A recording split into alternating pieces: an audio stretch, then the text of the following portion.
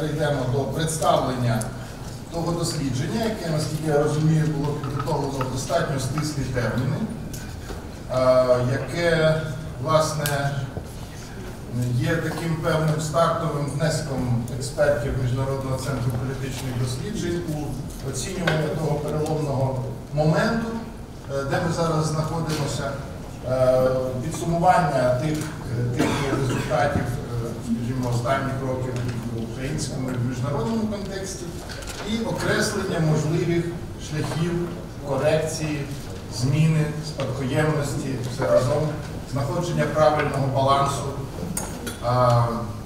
скажімо, зміни і, і спадкоємності, якщо йдеться про національні інтереси України і спосіб е, їхньої реалізації. Я хотів би три аспекти е, нашої дискусії, сподівання на цю дискусію. Перше, це те, що іноді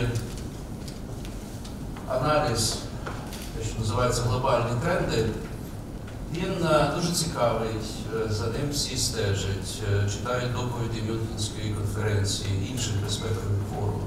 Але все це дуже відірвано стосовно того, що це означає для України. Є в мене особисте відчуття, що е, таке от, така інерція того, що склалося вже деякий час, вона продовжує все ж таки домінувати з різних причин.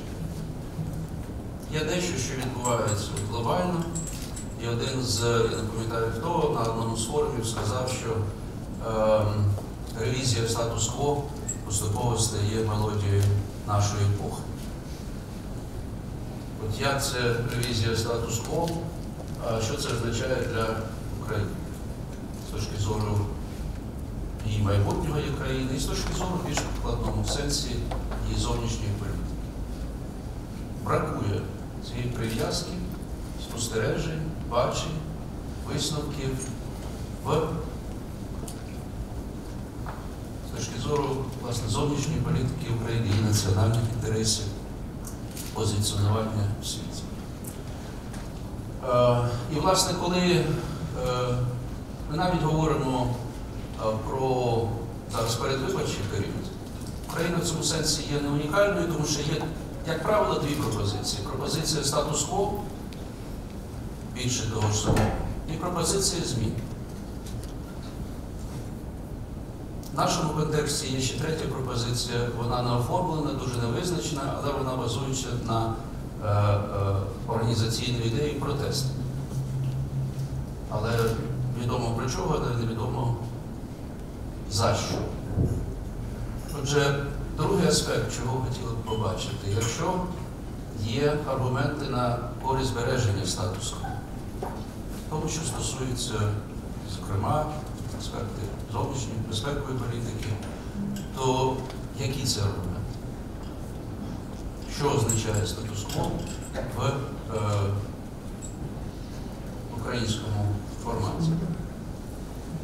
Е, якщо потрібні зміни, то не зміни заради змін, а в чому їх відмінність, яка їх е, е, пріоритетність в максимально конкретизованому вигляді. І з точки зору стратегії, і з точки зору питань на. Війна, анексія, питання війни і миру. Але одне без одного не може бути розірвано, тому що ми прекрасно розуміємо, що Донбас це частина більш глобальної конфронтації. Якщо таке розуміння є, то що це означає в е, прикладі е, до зовнішньої політики. Безумовно, є завжди спокуса перефразувати одного з американських президентів і сказати, що і дехто говорив, і зрозуміло, чому що Україна занадто велика для маленьких мрій. Але завжди має бути певна, е, я так розумію, е, раціо і реалізм з точки зору, наскільки е, ці мрії, які є не маленькі, а великі, вони все ж таки базуються на певному на певних реаліях і не заводять нас в рожеве, безхмарне майбутнє, включно з датами вступу кудись. І третій аспект, який не може бути, е, очевидно, проігнорований. Це лише три, тому що ну, я особисто і е, кандидат, якого я представляю, хотіло б це також бачити більш е, предметно. Відомий всім вислів, що зовнішня політика починається вдома. Відомий також вислів, що першим принципом е, зовнішньої політики є добрий уряд е, вдома. The first principle of foreign policy is good government at home. А, але що це означає з точки зору української дипломатії? Не з точки зору взагалі good governance, е, там, розподілу повноважень, реформи державної служби, а з точки зору операційного, з точки зору дипломатичної служби, з точки зору того, що у нас називають реформою е, або дипломатичною службою. І тут у нас є також дві крайності. Перша крайність, яка е, говорить, що статус-кво і те, що було колись, це найкраще. І друга крайність, на жаль, я думаю, колеги бачили один з виступів одного з е, чи однієї заступниці міністра закордонних справ, яка говорила, що все, що до нас це було погано. А от зараз лише прийшла така команда е, молода, яка все робить, робить ідеально. А ті, що були раніше, вони подробки нам не годяться.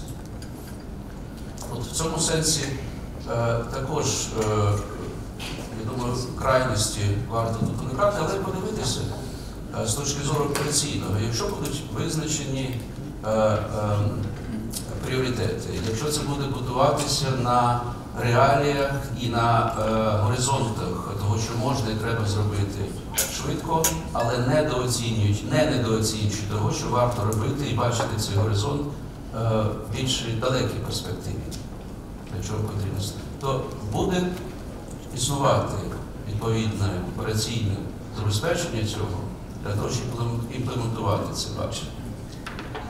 І з цієї точки зору аргумент зовнішньої політики починається вдома, е, дуже важливий, не розкидаючись загальними речами, там, про корупцію, про е, погану економічну політику, а в до, до дипломатичної служби. Ось ці три е, речі, три аспекти дуже би е, варто е, обговорити, і е, я особисто розглядаю це не як е, одноразову таку подію, як початок е, такої дискусії в різних форматах вона буде відбуватися.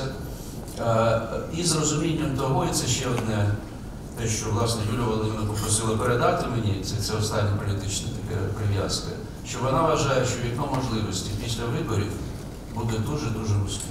Постійно існує бажання з одного боку, як е, з академічної точки зору, з іншої з прикладної, оцінити, якою ж наскільки ефективною є зовнішня політика України, яка реалізується протягом останніх років, е, які пріоритетні питання не розв'язуються взагалі, які вдається розв'язувати, в чому Україна наближається до заявлених цілей в зовнішній політиці, в чому від них віддаляється можливо. Тобто це частина поточної роботи, яка, я впевнений, буде продовжуватися за будь-яких е, е, розвитку, будь-якого внутрішньополітичної ситуації в Україні. Ем, Чотири основні ідеї, на які я звернув увагу. Е, Перша з них це те, що зовнішня політика України має бути іншою. Друга це те, що вона має бути кращою. Е, Третє коротко про те, що не так із поточною зовнішньою політикою. І четверте про те, чим вона е, визначатися повинна. Е, Починаючи з останнього, з останньої тези, бо вона розвиває те, про що згадав Григорій Немиря, можна сказати про те, що Україна, на жаль, е, знаходиться в ситуації, коли зовнішня політика е, не є стільки предметом вибору власної країни, і це у нас найчастіше формулюється в термінах дилеми суб'єктності об'єктності, скільки визначається внутрішньою слабкістю і зовнішньополітичними факторами, які пов'язані з інтересами великих гравців, але не тільки з ними, з деякими структурними особливостями міжнародної політики.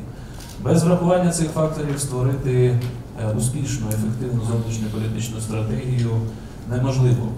Е, Один з цих факторів полягає в тому, що якщо більшість країн е, можуть дозволити собі е, зовнішню політику і меншою мірою політику національної безпеки тримати на другорядних ролях більше уваги звертаючи на пріоритети внутрішньополітичного розвитку, то ситуація, в якій опинилася Україна, вимагає зараз, вимагатиме ще довгий час підвищеної уваги до питань зовнішньої політики. Жодний політичний лідер, президент, представник політичної сили не зможе оминати відповіді на ключові питання, пов'язані із перспективами управління конфлікту на сході України, з поверненням Криму, з взаємодією з великими центрами сили світовими, включаючи довгострокову стратегію відносин з Росією.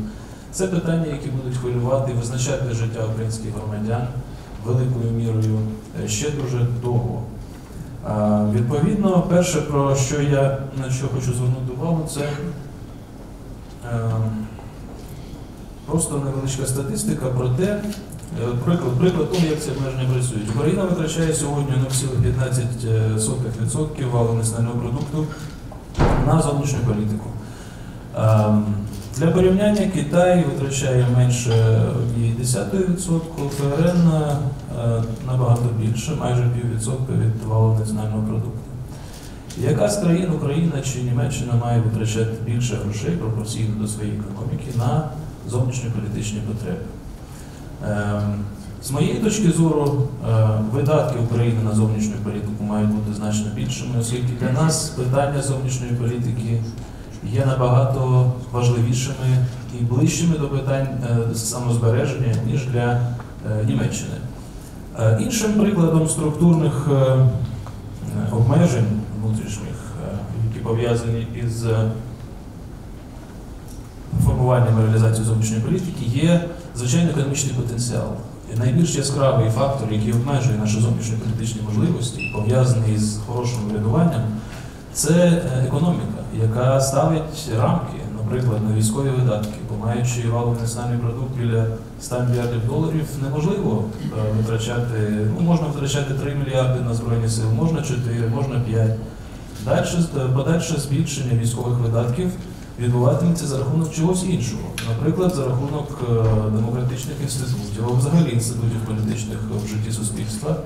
І це ставить перед нами фундаментальну дилему про те, що чи можна посилювати військові жорсткі е, силові е, спроможності України, не послаблюючи демократичних інститутів. Від того, що ми не змогли досі побудувати ефективну sustainable, що називається е, стабільну демократію, ми не можемо всерйоз претендувати на вступ до НАТО, бо це обов'язкова вимога для країни, щоб бути демократичною. Тобто тут е, є взаємозв'язок і дуже складні дилеми, які не можна розв'язувати рішення, які не можуть одночасно призводити до успіхів у різних напрямках.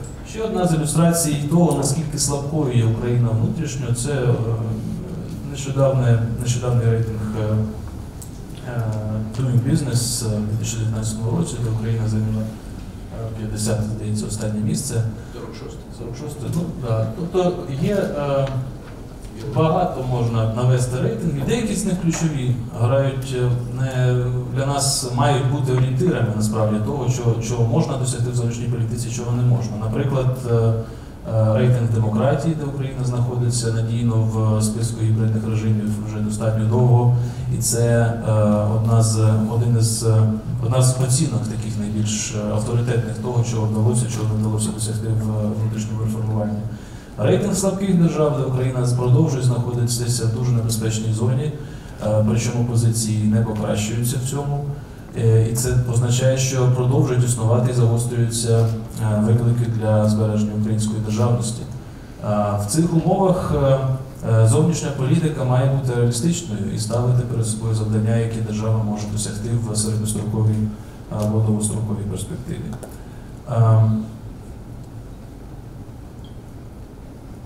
Виходить інший параметр, який обмежує чи визначає альтернативи зовнішньополітичні, це, звичайно, зовнішні, е, зовнішні структурні фактори, е, які можна окреслити приблизно тим чином, що Україна, е, на жаль, перетворюється із середньої держави, яка могла претендувати в якийсь період на регіональне лідерство, в державу малу зменшуються і силові можливості. Наприклад, доля України у світовому валовому національному продукті за останні роки впала з 0, десь приблизно 23 сотих до 0,18 чи 15 сотих, в залежності від методики підрахунків. Е, Оце базові речі, які визначають можливості впливу держави. Чим слабшими ми стаємо внутрішньо, тим більшою мірою наша зовнішня політика залежить від рішень, які приймаються е, поза межами України. Е, Відповідно, зовнішній цей контекст, е, чому він для нас можливий, бо він створює ці обмеження, які нам потрібно правильно розуміти, інтерпретувати. Е, Він е, е, дає змогу оцінити ту зовнішню політику, яка реалізовувалася останніми роками. Умови для реалізації такі, такої зовнішньої політики були складними, і вони залишаться складними. І треба розуміти, що успішно, навіть якщо ми зможемо створити успішну зовнішньополітичну стратегію, вона всіх проблем України не розв'яже, бо корінь проблем України, в тому числі зовнішніх, полягає в внутрішній слабкості. Але в той же час безініціативна зовнішня політика, яка суперечлива, яка не має цілісного бачення такого, яким буде майбутнє і місце України в ньому за 5-10 років, вона точно підвищить і, зробить ризики для державності для національної безпеки значно більшого. Що не так із поточною зовнішньою політикою?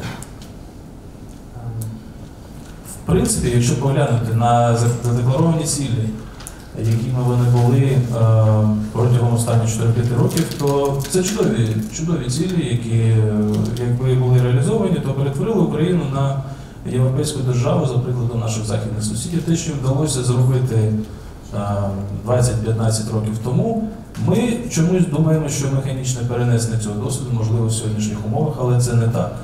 Тому задекларований зовнішньополітичний курс живе в паралельній реальності. А в насправді відбувається послаблення позиції України в відносинах з більшістю її зовнішньополітичних партнерів. Е, яка формується таким чином, створює можливості для маніпуляції як всередині суспільства, так і е, партнерами України на міжнародній арені, коли заявлені гасла е, вони відтворюються протягом багатьох років, а реальна політика є іншою. Е, Це просто спокусу створює е, зовнішню політику реалізовувати таку, яка побудована на цілях, які не можуть бути досягнені реалістично, вони перетворюються на гасла. Е, Внаслідок цього, завдяки цьому можна досягати короткострокових переваг, е, і є е, цілий ряд чудових теоретико моделей, які демонструють, як е, можна отримувати швидкий виграш, але лише за рахунок довгострокових втрат в репутації і довірі. Це те, що ми починаємо відчувати вже сьогодні. Результат реалізації нереалістичної зовнішньої політики призводить до втрати довіри до України як міжнародного партнера. Ем, Ключова проблема з плануванням в сфері зовнішньої політики залишається такою, якою вона була ще 5 років тому. В нас немає чіткої ієрархії пріоритетів і національних інтересів. Всі говорять про національні інтереси, як це свого року в Сполучених Штатах відбувалося в 70-х, коли концепція стала модною. Всі про неї говорили, але за допомогою цього поняття е, пояснювалися протилежні позиції зовнішньополітичні. В нас немає якогось суспільного консенсусу щодо того, що для нас важливіше. Ми хочемо одночасно е, повертати е, Крим, розв'язувати конфлікт на Донбасі на наших умовах, вступати в ЄС і НАТО. І в нас немає критеріїв перемоги. Що ми будемо вважати перемогою в, наших, в нашому конфлікті з Росією? А, часто дуже ці цілі суперечать одна одній. Приміром, перемагати Росію можна лише за рахунок е, надзвичайного напруження е, зусиль, в тому числі збільшення військових видатків. І це буде заважати Україні перетворюватися на ефективну демократичну державу. І хто знає, яка з цих, які з цих сценаріїв е, більше чекають в Кремлі. Відсутність чітких стратегічних пріоритетів знову ж таки створює просто для спекуляції різного роду зовнішньополітичними гаслами за умови, якщо ні, ні до жодної з цих цілей ми фактично не наближаємося. Результатом є те, що жодна з ключових проблем за великим рахунком не розв'язана за останні роки. Ми не стали ближчими до врегулювання конфлікту е, на Донбасі з різних причин, можна різні теорії висувати, але реальність залишається такою. Ми не наблизилися до повернення е, Криму.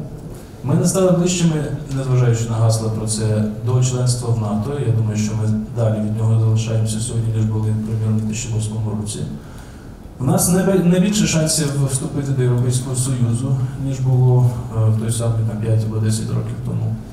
Е, Тобто реальний результат зовнішньої політики стає е, таким, що Україна перетворюється на все більш слабкого партнера в будь-якому діалозі з будь-якими партнерами, навіть з нашими західними сусідами, конфлікти з якими те- теж є наслідком поєднання як внутрішніх політичних факторів, так і зовнішньополітичних прорахунків.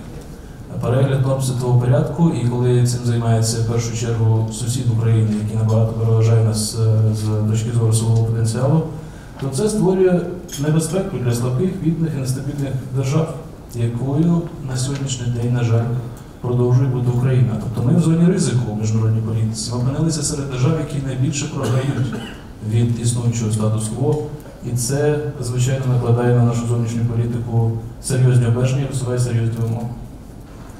Міжнародному середовищі стає більше конкуренції. Е, Держави змагаються одна з одною за так звані відносні переваги а не за абсолютні. Їх, їх цікавить те, наскільки вони стають сильнішими чи слабшими відносно одна одної, а не що вони отримують в абсолютних е, е, термінах від співпраці чи конфліктів. Вищий попит на односторонні дії, криза багатосторонніх інститутів і форматів це теж наслідок руйнації того порядку. Менше безпеки, більша роль насильства і з здатності проєктувати військову міць в різні регіони світу, тобто держави, знову ж таки, цей транзитний перехідний період міжнародної системи більшу ставку роблять жорстку силу. Менше дієвих інститутів, якщо інститут розуміти як е, правило гри, то правил гри залишається дуже небагато. І знову ж таки, зростання анархії в міжнародній системі програють слабкі і неефективні, і Україна буде серед них, і з цього теж е, треба виходити. Більше конфліктності це теж із наслідків того, що відбувається. Окремо, якщо звернути увагу на Європу, регіональний рівень планування зовнішньополітичного залишається для України пріоритетом. Тут найбільша кількість е, небезпек, загроз і можливих рішень знаходяться, то Європа припинила бути найнебезпечнішим регіоном завдяки в лапках е, подіям навколо України. Це, звичайно, проблема всієї Європи, але для нас це не набагато більша проблема, ніж для європейців. І нам це треба розуміти, коли ми що відмінність існує між тим, як сприймаємо російську загрозу ми і як роблять це наші е, партнери європейські. Криза нормативних підходів є з небезпеки, бо раніше Європейський Союз робив ставку на нормативну силу, на проєкт східного партнерства і в цілому на політику сусідства. І логіка, яка була закладена в цих проєктах, вона не працює. ЄС не може відігравати настільки ж активну роль, яку він відігравав до 2013 року в сфері е, регіональної безпеки, і це впливає на ефективність мінського формату і на багато е, інших е, речей, в тому числі і на ті пріоритети, які мають бути розставлені в е, подальшій стратегії євроінтеграції України, як нам зближуватися з Євросоюзом далі, і які пріоритетні сфери для цього визначати. Відновлення силового протистояння в Європі це е, теж наслідок кризи нормативних е, інструментів і наслідок браку довіри. Е, І роль сприйняття, безпекові загрози сприймаються європейцями по-різному. Навіть ті країни, які є членами НАТО і ЄС, здається, захищені з точки зору жорсткої безпеки достатньо надійно, для них різний обсяг безпеки, вони по-різному захищені. І це створює різноманіття стратегічних уявлень про безпеку і про зовнішню політику навіть е, в Європі. І знову ж таки це різноманіття не враховується в українській зовнішній політиці. Держави слабкі стають, слабшують. Е, Дефіцит демократії в регіоні е, Східної Європи теж помічений. І це створює міжнародні наслідки, бо е, менш демократичні держави вони більше схильні до такої агресивної риторики в зовнішньої політиці, до більшої ставки на націоналізм, до гіршого сприйняття сусідів і так далі.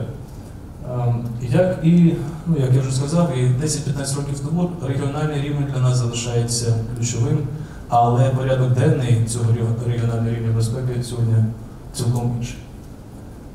Ем, Все це аналіз того, що відбувається в світі, в регіоні внутрішніх обмежень, підводить нас до системи викликів е, е, для України безпеки України, і на ньому можна будувати систему національних інтересів. Найважливішим е, з них залишається збереження української державності. Це пріоритет номер один реальна загроза цю державність втратити, залишити її або в кращому випадку номінальному вигляді. Тому саме цей пріоритет має домінувати над всіми всіма іншими при всій важливості вступу до НАТО і ЄС. Е, Це інструменти для захисту державності, а не мета сама по собі. Подолання інституційної слабкості Україна як була, так і залишається державою слабкими інститутами, які працюють погано, суди, які працюють погано і не надають громадянам достатнього захисту в сфері безпеки, економічних можливостей, справедливості і так далі.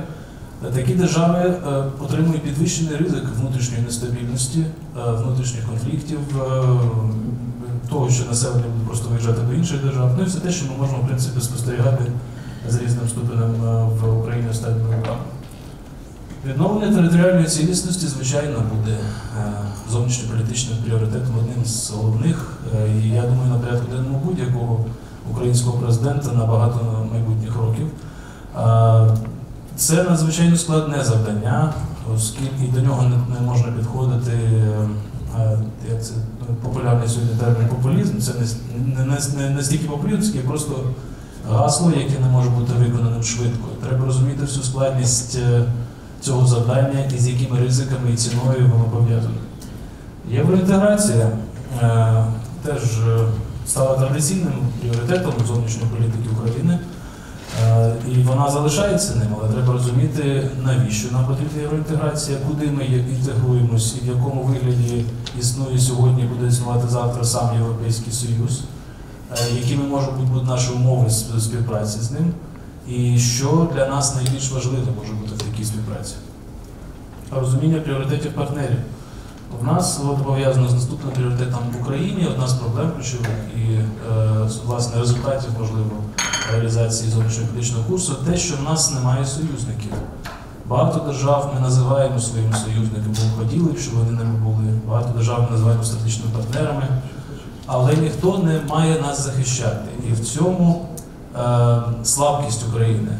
Ми е, не змогли переконати ключові держави, е, які могли б можливо роз- розповсюдити на гарантії безпеки за різних умов, це зробити. Не робиться це з різних причин, але це треба усвідомлювати, що в Україні е, дефіцит союзників яскраво виражений, і для того, щоб їх е, робити інші держави нашими союзниками, треба розуміти їхні інтереси.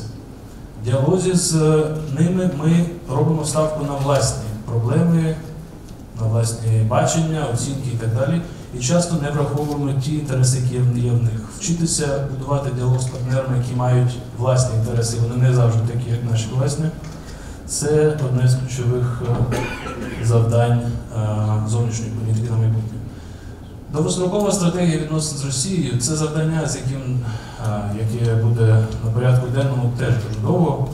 І теж дуже складно його сформулювати. Є ряд обмежень, є ряд імперативів, які виходять з факту окупації Криму і втручання Росії на Донбасі, які роблять розв'язання цієї проблеми більш складною, але про це треба говорити і треба обговорювати. Ну і е, фундаментальна річ, про яку я вже сказав, нам треба шукати баланс між тим, е, як багато ми можемо витрачати своїх ресурсів на військові потреби. Е, Дилеми і ризики. То зовнішня політика України це не, на жаль, виходячи з тих ситуацій, яка є, це не набір якихось е, е, завдань, які просто можна в поточному режимі розв'язувати. Це складні вибори часто, про що ми забуваємо. Ну, одним з них це ну, можливість поглиблення е, трансатлантичного розходження між е, Сполученими Штатами ЄС, між Сполученими Штатами і окремими європейськими державами, якою в цих умовах має бути зовнішня політика України? Кого із цих е, партнерів ми на чому ось ми маємо бути? Це е, цілком реальна дилема, яка може виникнути е, вже дуже скоро. Протистояння з Росією за умовах постійного браку ресурсів. Воно нікуди не подінеться. І що цим зробити, це не просте питання. Простих рішень немає. Ми намагалися ними користуватися і приймати ці прості рішення, розв'язувати ці проблеми. Але так воно не працює, і е, протистояння з Росією вимагатиме набагато більш складних підходів. А, можливість, е, так, це я вже сказав, членство в НАТО чи національна ідентичність. Це е, з одного боку, ми всі хочемо в НАТО і хочемо, щоб нас захистили. З іншого боку, потрапити в НАТО так просто і працює НАТО складніше, ніж це багатьом уявляється. Е, І один з нюансів, який нам доведеться розв'язувати, це дилема між е, прагненням вступити в НАТО і побудувати національну ідентичність, чим ми займаємося активно останніми роками. Що деякі говорять, що така спроба несумісна із ліберальними цінностями Євросоюзу, до якого ми прагнемо, але вона також не дуже сумісна, сумісна із членством НАТО. І е, справа не обмежується лише позицією Угорщини, а це більш широке питання, в якому треба буде знаходити баланс і консенсус. Ну і зрештою, якщо нічого не робити, то ми зовнішню політику на наступні 5 років е, будемо мати скоріше за все схожу на сьогоднішню, де гасла будуть жити окремим життям, а- а реальна зовнішня політика буде жити окремо паралельно від них. І в результаті це призведе до е, подальшого послаблення позиції України як в Європі, так і на міжнародній арені. Я прошу вибачити те, що перебрав часу дещо і е, передаю слово е, Василю Філіпчу. Перше, я запропонував, щоб це була українська дискусія. Не з представниками дипкорпусу, яким треба щось доказувати, чи з якими треба дискутувати. Нам потрібна дискусія між собою, між українцями, українськими громадянами щодо того, де ми є, куди ми йдемо, що нам з цим всім робити. Дисклеймер, Ілля Пономарьов декілька місяців е, боровся і нарешті переміг. Е, Мін'юст і подав е, документи на отримання українського паспорту, який він заслужив значно більше, ніж ті, хто отримали його за один день. Так що він також український громадянин, щоб не було ніяких запитань щодо. Але, але ти я думаю, доказав це е, своїм рішенням, своїм вчинком, тому жодних заперечень. Це українсько-українська дискусія. Ми нікому нічого тут не маємо доказувати, чи доказувати, чи показувати, хто з нас більший чи менший українець. І інша була умова. Тут немає, тут не повинно бути людей, які хочуть використати зовнішню політику для свого особистого піару. Я спробую все ж таки перейти трошки більше до практики. Отож, е, ми прекрасно знаємо, що е, працювати нам прийдеться не самим, ми не живемо в якомусь ідеальному світі, нам прийдеться мати справу з гравцями. Хто гравці? Е, В першому варіанті презентації ми зразу перейшли до нібито зрозумілої для нас е, схеми того, хто є гравцями, потім він сказав, почекай, чому ти не враховуєш е, недержавний сектор, NGOs? І тут маленький слайд для того, щоб пояснити все ж таки, що так, дійсно. Станом на сьогодні у світі є щонайменше 5 категорій гравців у сфері зовнішніх зносин. Це е, держави, nation states, е, це міжнародні організації, це е, е, е, багатонаціональні корпорації, і якщо ви подивитесь літературу наукову чи описи зовнішньої політики чи міжнародних відносин в Латинській Америці чи в Азії, там е, міжнародні корпорації грають дуже важливу роль. Дехто з присутніх тут, я впевнений, що потім скажете, якщо б в нас е, Боїнг купив Антонов чи е, там якась чи Рено купив ЗАЗ, то у нас була б зараз інша зовнішня політика. У це олігархи. Також варіант. Дійсно, це важливий елемент, важливий гравець серед міжнародних відносин, але зараз для України, мені здається, вони не відіграють настільки важливу роль, щоб дійсно говорити і про них, коли ми говоримо про гравців. Далі у нас ідуть е, NGOs, Non-Governmental Organizations. Я спеціально використав англійський термін, тому що недержавні гравці значно ширший термін. Але давайте говорити відверто. Для наша мета е, дати бачення тому, хто переможе, йому чи їй на наступних президентських виборах, хоча б якесь е, консенсусне, мінімально консенсусне бачення на нашому експертному рівні, що йому чи їй прийдеться робити, з чим прийдеться зіткнутися, і хто буде тими гравцями, які перші місяці будуть впливати на прийняття політичних рішень. І тут при всій глибокій повазі ми всі зараз є NGOs, тут представників МЗС ми запрошували не- не- немає, тому в принципі е, е, ми висловлюємо свою позицію, а рішення приймають все ж таки ті, хто там на першому місці. І нарешті несистемні е, чи антисистемні гравці від терористичних груп до мережевих інтернет-формувань дуже важливо, але ми все ж таки виходимо з того, що ключовими гравцями і ті, хто в першій, е, е, в першій категорії, це nation це країни. І якщо подивитися е, знову ж таки дослідження і ціла школа е, присвячена тому, хто є гравцями зараз в відносинах, 80% е, гр- людей в світі зараз живуть в системі, класичній системі nation states, країн, е, які е, далі залишаються ключовим елементом міжнародних відносин. Отож, з ким нам прийдеться мати справу? Насамперед, е, нам прийдеться мати справу з двома ключовими е, гравцями у сьогоднішньому світі. Це є США і Російська Федерація. І перед тим, як давати відповідь, що ми можемо робити, нам треба чітко розуміти, хто ми є для них і хто вони є для нас. Вирішити конфлікт на Донбасі, планувати нашу зовнішню політику е, не те, що в довгостроковому чи, чи е, тим більше в короткостроковому виборі, ми можемо лише розуміючи позицію США, яка, попри все, попри конфлікт між Трампом і естеблішментом, попри ізоляціонізм середньоамериканського естеблішменту і так далі, і тому подібне, залишається і залишатиметься ще років 20 як мінімум ключовою країною, саме виходячи з своєї військової потуги. Е, Через 20 років це було одному з наших інших досліджень, декілька років тому порівнювали світ через 20 років. Так, Китай і Індія швидко наступають на п'яте. Так, через 20 років США, ймовірно, якщо не буде якоїсь стаї чорних лебедів, які змінять ситуацію у світі, США е, втратять е, свою монополію на силу, на військову силу.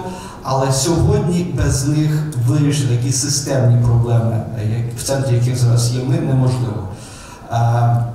Я думаю, що попри те, що зараз справедливо буде згадати е, попереднього президента США Обаму, який що один з дуже небагатьох відверто сказав про місце України у сфері зовнішньої політики е, США. Пам'ятаєте, у січні 16-го року він зробив гарне велике інтерв'ю The Atlantic, де прямо сказав, навіть якщо б Росія двічі атакувала Україну, ми б сильно не відправили туди свої е, війська. Він це сказав прямо, а- всі інші про це думають чи говорять тільки тоді, коли п'є з ними каву чи віскі. І це факт. І тут в цьому полі нам немає сенсу один одному доказувати, що це інакше, тому що це факт. Тим більше це факт зараз, і е, ми е, маємо бути реалістичні щодо того, як далеко ми можемо піти, як і розуміти, що дякуючи, м'яко кажучи, авантюристичній політиці Російської Федерації, яка влізла в американські вибори, ми опинилися на гребні, ми опинилися на хвилі. Україна не стала розмінною монетою саме тому, що Росія влізла в святая святих, спробувала повпливати на американські вибори, чим викликала значно жорсткішу реакцію, ніж навіть е, анексія Криму чи атака е, на Україну в східній Україні. Тобто е, це показує наскільки Росія для них важливіша тоді, коли на них нападає, ніж тоді, коли нападає на таку важливу країну, яка є. е, Яка отримала від них е, гарантії в рамках Будапештського меморандуму, е, наскільки е, що для них справді важливіше. На мою думку, у нас після президентських виборів можливо відкриється певне вікно можливостей для перегляду взаємних стосунків. У нас є чудовий документ, який зараз дуже мало хто цитує. Це 2008 рік. Пам'ятаєте, після Бухарестського провалу був е, підписаний чудовий документ, недооцінений зараз документ е, про стратегічне партнерство, де є дуже багато хороших е, елементів, які можна і потрібно розвивати. Я думаю, що при бажанні і Будапештський меморандум, і зобов'язання, які там зафіксовані, хоча по-різному інтерпретуються, знову ж таки, в цьому полі немає сенсу повторювати наративи сторін, але є потенціал для того, щоб після після перевантаження влади в Україні і законодавчої і виконавчої кінці року спробувати наново е, розпочати діалог з американським істеблішментом, з американським керівництвом щодо того, як якою має бути роль і відповідальність США у врегулюванні українських е, проблем. Далі Росія. Від відповіді того, що хоче Росія, залежить те, що ми можемо запропонувати. Тут багато хто знають Росію значно краще, ніж я, і я дуже далекий від того, щоб пробувати зараз дати якісь свої відповіді, тільки по тих питань, які і, і кожному з них задавав. І я дум- думаю, що між собою ми це багато разів дискутували, що Росія хоче в Україні, що Росія хоче з Заходу, яка кінцева мета, чи можливо якимось чином знайти такий компроміс, який би е, знизив градус російської імперіалістичної поведінки, бажання е, завдати шкоду Україні і так далі, від відповіді від того, е, наскільки ми можемо знайти якийсь модус вівенді, модальність мирного співіснування з Росією, від відповіді на це питання буде залежати і відповідь на всі інші запитання. Якщо мета Росії знищити Україну, то нема про що говорити. Тоді треба переводити країну на, на військові рейки. Треба, е, ми аналізували військові бюджети 16 разів різниця. Треба тоді на 16 разів підвищувати наш, е, наші видатки на е, військову частину. Це вже буде нас повністю наш ВВП. Для того, щоб мати співмірні витрати на оборону, як і Російська Федерація. Якщо це дійсно так, тоді треба суспільству чесно сказати і відповідно так і розподіляти ресурси. Але Микола вже сказав про проблему розподілу обмеженої кількості ресурсів. Якщо ж є можливість знайти е, якусь модальність співіснування в коротко, середньо чи довготерміновому періоді. І саме на це треба робити, розраховувати на краще, але готуватися до гіршого. Далі ми маємо ось цей такий е, чотирикутник, він був трикутником. Е, Для мене дуже близькою є Велика Британія, це країна, яка є і частиною Будапештських домовленостей, це є країна гарант, країна, яка завжди підтримувала Україну в ЄС, НАТО і так далі. Але давайте також будемо відверті, країна зараз знаходиться в такому хаосі, що ні цього, ні наступного, ні декілька років наперед е, її роль і значення, лідерство, добра воля нічим особливо нам не допоможе. Тим би самим розібратися, якщо Брекзит успішно відбудеться, то їм далі треба буде думати про Північну Ірландію і Шотландію, а не про Донбас і Крим. Е, Якщо Брекзит провалиться, що також дуже ймовірно, і я щиро вважаю, що Брекзит провалився, а Велика Британія залишилася в Європейському Союзі, е, що також не виключено, але тоді їм придеться ще років 5-7 відновлювати своє місце, повагу до себе. Е, Це, це, це окрема проблема, і я думаю, що якщо говорити відверто, то наші ключові партнери це е, Німеччина, Франція і ЄС. Я тут не вказав НАТО, якщо ЄС це все ж таки е, структура, де є комуні... комунітарний рівень, де є євроінституції, які часто мають вже свою логіку, свої інтереси і виступають самостійним центром прийняття рішення. В НАТО ситуація інша, це міждержавний союз, і саме від позиції країн-членів НАТО залежить і дії НАТО в цілому. Тому ми говоримо саме тут про роль і місце Європейського Союзу, який залишається для нас ще невикористаним потенціалом, і про це ми говоримо пізніше, і двох ключових країн. Але при тому давайте також будемо чесними. В травні місяці виборів Європейського парламенту е, песимісти говорять про 40%, відсотків, оптимісти про 30% е, сил, які в новому європейському парламенті, які зараз обирає, впливає на, на призначення значно більше ніж раніше єврокомісарів, будуть мати європесимістичні, а часто антиєвропейські сили. ЄС в кінці року це буде інший єС, ніж той, який існував останніх 20 років. Е, Наскільки буде відрізнятися? Що гадалка скаже, але навіть за найоптимістичнішими підрахунками е, це буде значно менш євро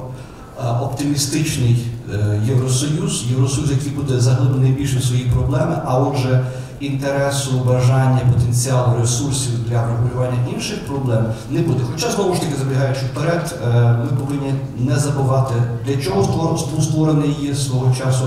І яка функція цієї організації в Європі це оплачувати чеки. І якщо дійсно використовувати його призначенню і дати правильний чек і показати, як його використати, тут є великий потенціал, який протягом найближчого двох років можна буде використати. Сусідні з Україною е, країни ми би поділили на дві групи, знову ж таки, не було забрати надто багато часу. Е, Є різниця у тому, як нам будувати відносини з кожною країною, має бути індивідуальний підхід до кожної з країн.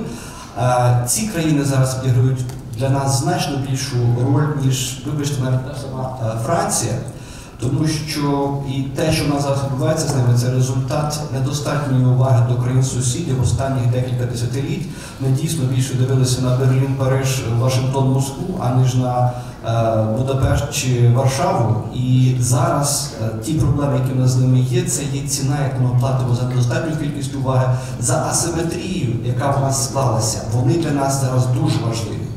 Не тільки тому, як країни-члени, тому що в нас війна на іншому напрямку. Того, як ми зможемо вибудувати е, стосунки з країнами, е, які є членами НАТО, наскільки ми зможемо швидко з ними домовитись про врегулювання існуючих проблем, буде залежати те, наскільки будуть сильні у протистоянні на східному напрямку. Е, Територія колишньої СРСР далі залишається для нас місцем, де є вакуум е, неросійського лідерства. Тобто, навіть якщо подивитися на проросійську Білорусь, все рівно там загроза відчувається, і місце для України є, і це місце потрібно е, посилювати і в економічному, і політичному плані. Та ж сама ситуація і з Молдовою, яка дуже обережно і- уважно слідкує за тим, що відбувається тут. І тут для нас також є величезний простір для маневрів, тим більше у е, південному Кавказі, е, де у нас є природні союзники, ГУАМ, в який свого часу ми інвестували таку зусиль, далі залишається організацією, яка недооцінена, яка може бути значно посилена і використана в наших цілях.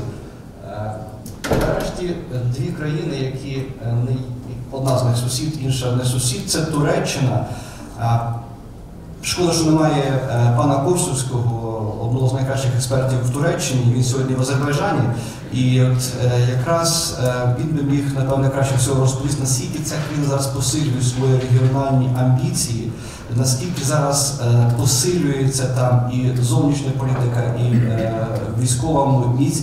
Ми явно недооцінюємо наш регіон з точки зору того, хто в ньому є лідером. Тут не тільки Росія, але й Туреччина, і з кожним роком це, е, це її роль буде буде посилюватися. Яким чином ми маємо вибудувати з ними відносини, щоб не бути також жертвою, а бути партнером, а краще використати Туреччину в своїх е, інтересах. Це дуже цікава дискусія, про яку треба говорити. Ну, бо Україні потрібна нова концепція сусідської політики, нова концепція добросусідства.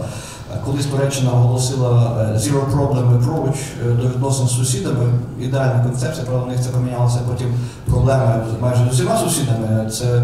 Але сама концепція ідея дуже правильна і цікава, принаймні ми маємо прагнути до того, щоб мінімізувати проблеми е, на іншому напрямку в той час, коли у нас існують найбільш важливі проблеми, які загрожують існуванню країни на східному напрямку. Енергетична безпека. Знову ж таки, дуже мало хто зараз говорить про те, що нас чекає у січні наступного року, коли, на жаль, незважаючи на всі політичні заяви, але північний потік буде збудований, е, буде запущений в листопаді-грудні, і росіяни зараз в Брюсселі прямо говорять, що вони 19 січня, в річницю підписання газових угод Бетворці, просто перекриють краник е, повністю на кордоні з Україною. І подивляться, як у нас працює віртуальний реверс з Словаччини, який ми дуже добре знаємо, що не спрацює, тому що Словаччина дуже видобуває мало газу, якщо взагалі видобуває його.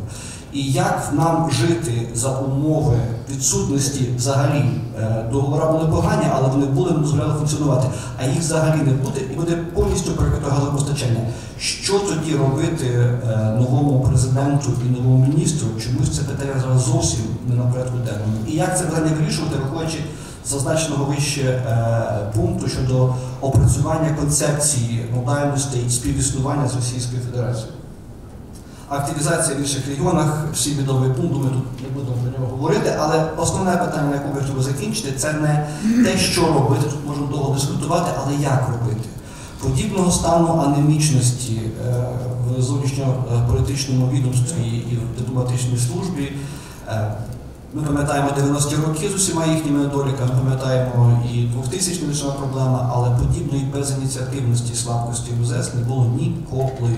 Ми всі спілкуємося з колегами з Михайлівської і знаємо, як це все працює без реформи і негайної е, зміни модальності, активності функціонування МЗС. Це все далі залишиться такими собі е, мріями. Я би тут тільки декілька елементів зазначив, що вкрай необхідно зробити. Насамперед, конституційне законодавче поле функціонування МЗС. Всі пам'ятаємо історію, коли е, через особливості Конституції процедура призначення міністра і е, Кабінету міністрів відрізняється. І добре, коли є е, одне, один центр влади, гірше, коли Конституцію залежить така, яка вона є. І трапиться ситуація, коли президент і прем'єр-міністр будуть мати різні е, позиції, і то що тоді буде робити МЗС? Це питання треба врегулювати. В ідеалі через конституційну реформу, коли є одна процедура прийняття рішень, і е, міністр є складовою е, команди, яка, е, яка має один мандат довіри. Більше того, міністр зазвичай має два е, таких ключових е, дві ключових функції, знаючи щоденної її роботи. З одного боку, це розробка і впровадження зовнішньої політики, а з іншого боку, не менш, а може більш важливо, це координація зовнішніх зносин е, органів державної влади. Тут міністри можуть довго розказувати про те, як не просто деколи займатися зовнішньою політикою, коли Мінекономіки, Мінфін там чи інші міністерства мають свою особливу позицію, чим глибоко плювати, що там МЗС е, робить чи говорить, якщо е, у них тим більше на це політичне добро. Нам потрібно цю проблему врегулювати раз і назавжди. Мені здається, було би дуже доцільно, що принаймні ми, наше експертне середовище, запропонувало об'єднати позиції міністра і віце-прем'єра. Щоб людина, яка є міністром закордонних справ, одночасно був віце-прем'єром і мав формальні можливості давати команди іншим міністрам, координувати не лише листами в кабін, прошу просимо розглянути і погодити, а напряму доручати тим, хто не дотримується однієї лінії поведінки, хто порушує її, давати команди, карати, приводити до відповідальності. Це вкрай важливо, і без цього ефективність всіх тих наших хороших ідей може бути дуже низькою. Розподіл е, політичних і е, адміністративних посад також принципово важливо, вкрай важливо перейти нарешті до того, щоб у нас була якісна система е, призначення і політичного рівня, і адміністративного вищого рівня керівництва МЗС. І це неможливо, і ефективна робота міністерства неможливо без запровадження нарешті того, про що присутні тут всі скільки років говорять. Має бути запроваджено чітку практику, чи в законі про дипломатичну службу це чи в іншому документі, коли спочатку йде вироблення державної політики, публічне вироблення державної політики е, за участю всіх зацікавлених сторін. Є від директив Євросоюзу, де виписані, як відбувається обговорення прийняття державних політик чи policies. До прикладів там тих самих е, країн, як, наприклад, Велика Британія згадана сьогодні, де чітка як годинник процедура, після якої немає у деск-офісера МЗС, якогось там першого чи третього секретаря, четко. Є але принаймні тут це все працює дуже негарно. 150 політик е, у е, Великій Британії дозволяють британському МЗС бути дуже ефективними, навіть незважаючи на політичний безлад всій країні. Е, Нарешті е, запровадження функціональної системи управління, так само багато про це говорили, всі присутні знають, наскільки важливо перевернути систему функціонування МЗС від нинішньої модальності, коли чекає дипломат, коли йому прийде вказівка з фішкою до, до, до виконання, до того, е, до тієї системи, яка працює в всіх нормальних європейських країн, коли є державна політика, і дипломат знає, що йому робити, а залучає вище керівництво тільки тоді, коли є або проблеми, або потрібна вже публічна презентація. І нарешті розробка публічних політик має бути відкритою, але при цьому нарешті МЗС має бути має бути запроваджено і має запрацювати безпечна і закрита система збереження і обміну інформації. Без цього всього ми далі будемо залишатися е, в нижньому одязі, розкриті перед всім, перед всім світом, коли всі знають про те, що ми обговорюємо ще перед тим, як ми це навіть починаємо обговорювати, а всі наші рішення відомі нашим ворогам і друзям ще перед тим, як ми їх приймаємо. Існування ЛНР, ДНР і анексії Криму, воно змінюється. Ми можемо бачити ці зміни по відношенню до посилення, е, посилення приписів, ну скажімо, е, до Росії. Палата представників буквально на минулих днях проголосувала за невизначення е, статусу або анексії Криму. Це дуже важливий, дуже важлива ознака. Значить, контекст вже змінився. Е, Те, що було зроблено, бажано чи не бажано було, і- я тут не буду, не буду характеризувати зусилля е, влади е, української, ну, був створений фронт певний, санкціонний фронт. Це надзвичайно важливо. Контекст міняється, а значить статус-кво міняється. Це треба відчувати, я думаю. Ну на це дає відповідь, я потім скажу те, що запропонував запропонував е, Василем Я би сказав так, чому не вистачає в першій доповіді. Фактично, е, очевидно, що, е, що зовнішня політика це продовження внутрішньої політики іншими засобами. Я вбачаю, що я клаузиця е, трансформую. Якими засобами? Дипломатичними це очевидно. На самі дипломатичні засоби працюють на засоби і воєнні, так, внутрішньовоєнні, якщо постачання є якихось катерів на Азовське море, це нормальний воєнний засіб, на якому працює дипломатія. Так? Це очевидно економічні засоби, а саме можливість з точки зору внутрішньої політики дати можливості для, е, е, для інвестицій. Е, Сьогодні прекрасно прозвучало для того, щоб для того, щоб е, Україна більш енергійно розкривала свої економічні можливості з іншими странами. Ну, нарешті санкціони і правовий міжнародне, міжнародне право.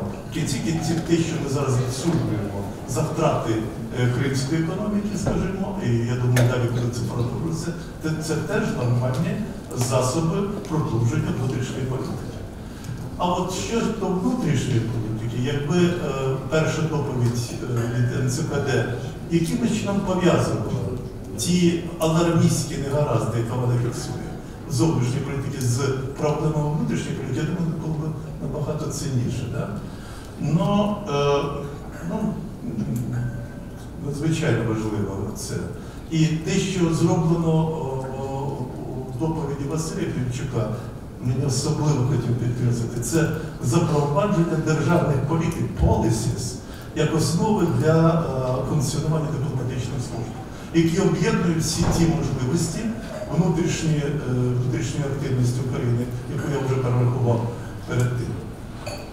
Що це значить? Те, що зараз запроваджується в інших міністерствах, а саме оці директорати, це фактично директорати вироблення policies, політик, державних політик, які формулюються не хвостійські якимось там групою людей, групою політиків, а спираються на самі різні функціональні і реальні можливості України різних міністерств, це було надзвичайно важливо. І я думаю, що е, для мене найбільш важливо в цій доповіді, що завдяки е, от, е, цьому баченню більш відкритої, відкритої всередину країни е, е, публічної політики і е, по відношенню до зовнішньої політики є, я думаю, досягнення е, принаймні того тої доповіді, яку я почув. Ну і нарешті останнє. Тут є така фраза була, що членство в НАТО чи ідентичність знак запитання. Е, Ну, для мене це, е, як людина, яка займається е, поняттям ідентичності, як загально. Ясно, що не буває однієї ідентичності в країні. Принаймні дві ідентичності, які ми маємо брати до уваги. Це національна культурна ідентичність в тій різноманітності, яка є. Є, є е, основна нація, там, є, меншини і так далі. І є політично громадянська ідентичність. От чому не вистачає е, е, як позначки в цій доповіді всередині України, і ми бачимо це на програмах кандидатів, якраз відсутня і величезна проблема в досягненні політичної громадянської ідентичності. Без цього внутрішня політика втрачає свою суб'єктність, точно політику, в точному сенсі, тому що поняття суб'єкта, основа поняття суб'єкта в європейській культурі це те, що тримає разом, це те, що синтезує, те, що скріплює, а як агент дії. Якщо у вас головіше запредіє, ви перестаєте бути суб'єктом. Тому от е, цей комплекс питань, я би хотів тут просто назначити ще раз і ще раз. Е, доповідь, яка Василя Фімчука прозвучала, я думаю, дає відповіді на всі ці загальні питання. але крім того, вона запропонує точні репери, точні ознаки того, що варто вже зараз робити. Робити, зібравши сили, які є, а саме думати про врегулювання конфлікту, як полісі, як політику державну е, з всіми тими нюансами, які були прозвучали, як відмовляти територіальну цілісність. Ну, е, беручи, ну, от розумієте, ми попадаємо в ситуацію, де policies, вони ніколи не бувають, що точно означені стратегії. Вони завжди відкриті для врахування можливостей. І тому зовнішня політика це теж політика, де ці стратегічні орієнтири, вони, е, хоча загально мусять е, залишатися ті самі, вони кожен раз наповнюються зміною контексту іншим змістом, який треба реагувати. Без цього, очевидно, ми не, ми не треба нормальної, нормальної зовнішньої політики. Ну і моє побажання, щоб те, що прозвучало принаймні тут, е, як позитив, е, все-таки було втілено е, тими, тим кандидатом, який стане президентом, тому що це його безпосередні е, повноваження обов'язки.